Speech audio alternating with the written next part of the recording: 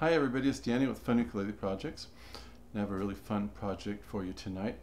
You see my Romero Creations Grand Tenor right here. You see my Tomas Custom sitting right there. And both of them have Ukes with Alex, Rotosound, nylon strings on them. Uh, Alex uh, from Southern Ukulele Store uh, has, come, has worked with Rotosound to come up with his own version of a you know his own nylon string set. And when I heard about that I thought I would try it out.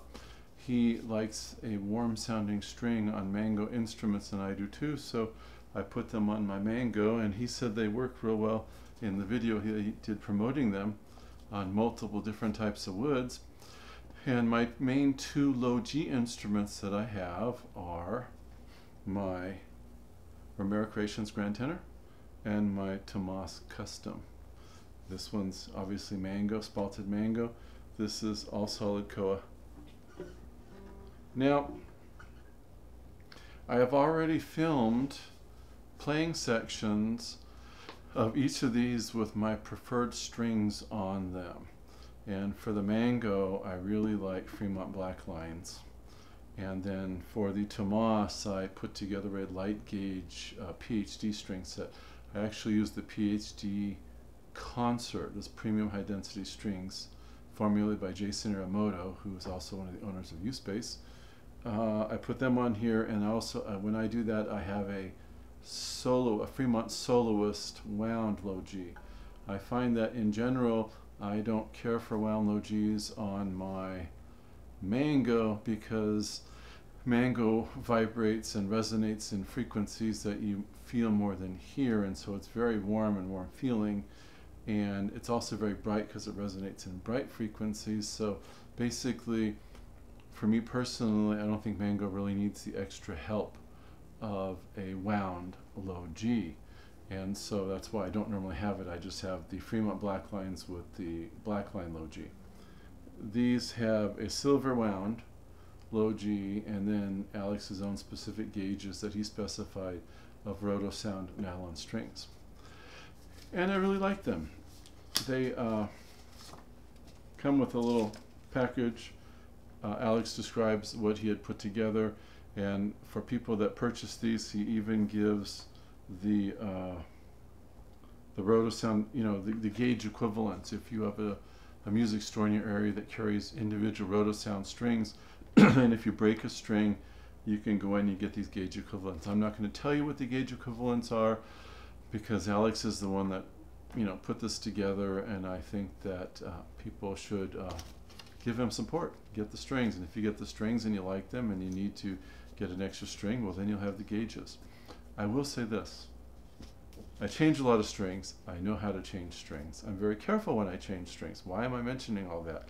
Because when I put the A string on my Tomas, I hadn't even gotten it tightened up to E4 when the string snapped. And it didn't snap at the knot. It didn't snap at the nut. It didn't snap at the tuner. It snapped almost in the middle of the string. And fortunately, he gives a generous amount of string, so I was able to barely uh, basically knot the end here. It's not tied like a tie bar, I just knotted it at the end. And I had just enough to reach up here and to tune it back up.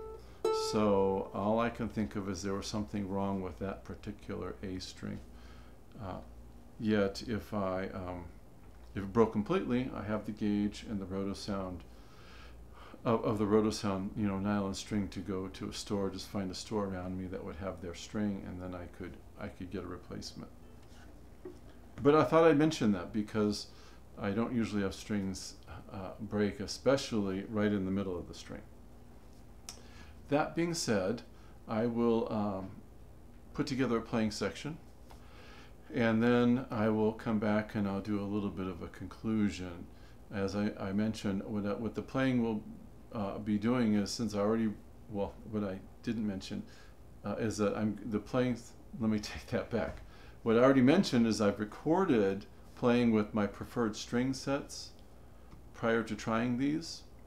And so then I am going to record the same playing with these each having the rotosound and then when I edit that together you'll see you know the black line with my generic pick then rotosound generic pick then black line generic strum rotosound generic strum black line playing Sonoe rotosound playing Sonoe and then you will also see black line playing uh, long ago from James Hill's Ukulele Way and then the Rotosound playing long ago from James Hill's Ukulele Way and then I'll do the little, there's one of the hammer-on pull-off sections that I will do from uh, Malagueña. These are very responsive strings for uh, fingerstyle.